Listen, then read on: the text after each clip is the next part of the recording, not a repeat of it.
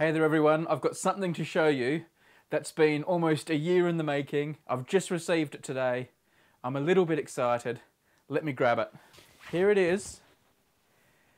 This is a printed tartan based on the Fibonacci sequence.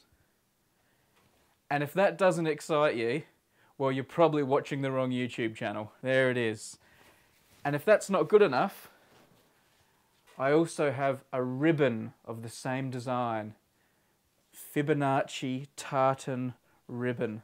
So I'm not going to bore you with wefts and warps and all the terminology of tartan, or plaid, as I think people in the US might call it.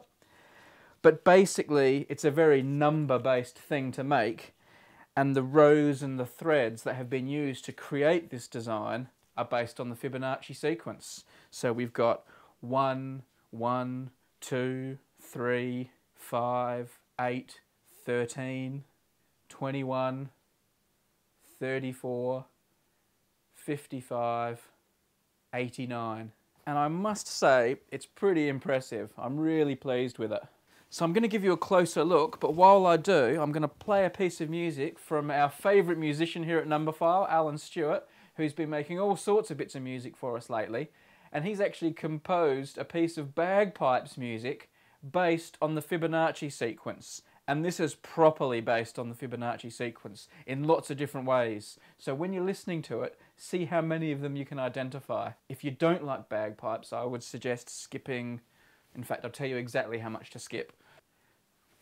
Basically, skip 1 minute and 30 seconds because that's how long this is going to play for. But it is very cool.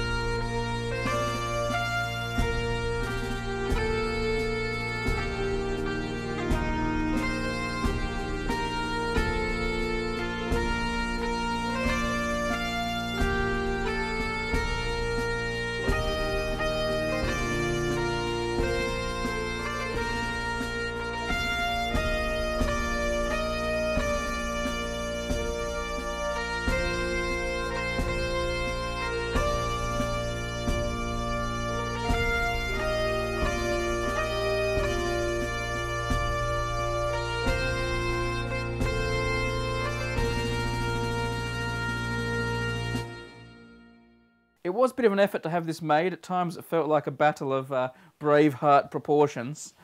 But I do want to thank the House of Tartan, who are the people who finally got this done for me. And if you want to design your own pattern or buy tartan or find out more about it, I strongly suggest their website. Of course, also thanks to Alan for his piece of music. We'll have more about that soon, so see how much Fibonacci you uh, saw in there and we'll, we'll come back to it. You're probably wondering what I'm going to do with this, and I'm wondering the same, to be honest. I've got a few ideas, a few ways I might be able to share it with you guys, the viewers, but if you've got any suggestions, it's not too late to put something underneath the video, and I'll be back soon with more information. One last thank you, and that's to the people at audible.com for supporting this Numberphile video. And actually, they've got an offer at the moment, if you're in the US or Canada, where if you go to audible.com slash numberphile, you can download one of their 100,000 audiobooks for free. I was having a look through thinking what one should I recommend? Should it be some Scottish poetry or something like that? But then I saw that they have Alex's Adventures in Numberland. Alex Bellos you may have seen in some of our earlier number Numberphile videos and he's got a brilliant book about numbers. So go along, audible.com slash numberphile, go for your free book. So thanks again to everyone at audible.com because they let people like me do crazy things like make Fibonacci tartans. I do like it.